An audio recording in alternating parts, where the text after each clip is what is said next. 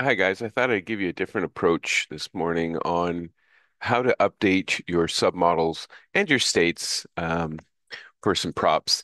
A lot of times you're getting updates, and quite frankly, you don't want to do a, a, a wholesale change and update everything because you may be getting um, states and submodels from different sources. So you don't want to overwrite what you currently have, but you just want to maybe build upon it or update it so uh, I'm going to give you a couple of approaches here. I think it works for people. We'll, we'll show you what I mean. So I've got two uh, common props here, Showstopper Spinner and the Showstopper Mini Tree. I'm going to focus on the Mini Tree here. So let's go. We have it on your layout. Everything's good, but you want to make sure you've got the latest and greatest, or perhaps you've got come across an update on Facebook or on a website. So let me show you how to do it.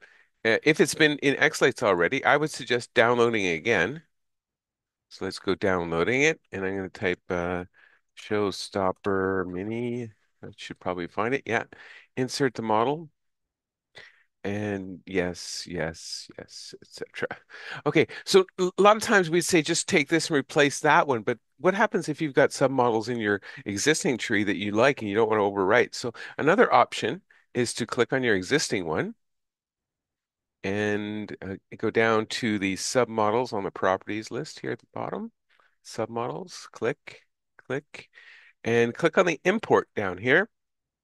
Import from an existing model, and it'd be the Showstopper mini tree that I just added. That'd be that one. And you can say, I want to refresh all of these things or or add if they don't exist. Click OK.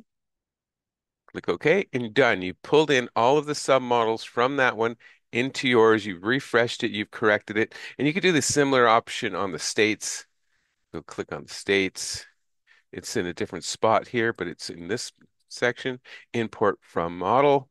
And you're going to choose the Showstopper mini tree. And do you want to replace them? Yes, you do. And away you go. All right. All right. So um that's how you can do it the one way. I'm going to click OK here. Another option is what happens if um, you, you this is I pulled it from the download, but there's also the ability to pull it from an imported file. So for example, if you grab it from Facebook or on a website like this, um, Showstopper mini tree here, somewhere in here, Showstopper spinner, uh, mini tree. So you download it. So this might be the case where you get it from uh, uh, Facebook or some trading site.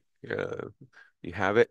So you come back here, very similar operation. You're going to click on your your your prop that you have in your show. You're going to go to submodels, click on the triple dots. In this case, you're going to say import. In this case, you're going to say import from file because it's a file on your disk, and it's going to be stored. Where did I store it? I'm hoping it's in here. No, where did I store it? Let me go back and see. Where is it? Open folder. It is in my, it's in my downloads. So let's go to downloads folder. Of course, it makes most sense, right? To be in my downloads. Click open. And it's the same situation. You're going to get prompted. You can selectively which ones you want to update if you're looking for a specific one, or you can just take a whole uh, wholesale change and update everything. So that's where you want to maybe be careful because perhaps one site may be out of date to the others. So you maybe want to pick and choose which ones you're updating. But if you know specifically you're looking for a particular uh, submodel, you're saying, oh, I know somebody on Facebook just had a really great snowman uh, hat or snowman, uh, you can pull in just that one. Okay. So there it is. Uh, updating your submodels, updating your states, either from the downloads or from imported from a, a X model file that you've uh, uh, obtain elsewhere. Hope that helps you. Uh, it's been crazy. There is currently no way to tell um, who's got the right one, who's got the best one, who's got the most recent one. It's really a trial and error, unfortunately. Maybe some people will come up with a convention, but as it stands now, there's really no way to tell unless uh, if I look at the submodels here, maybe somebody might think of putting in a submodel here and saying, you know, version 2.0. Maybe that would help. Maybe it would make it messy. I don't know.